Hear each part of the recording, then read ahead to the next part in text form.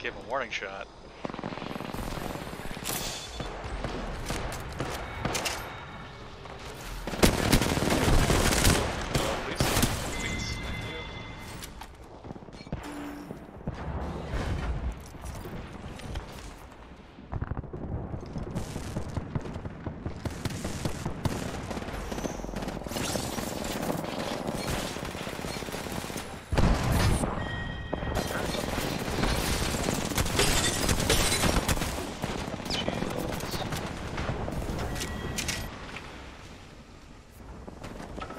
Get up there, please.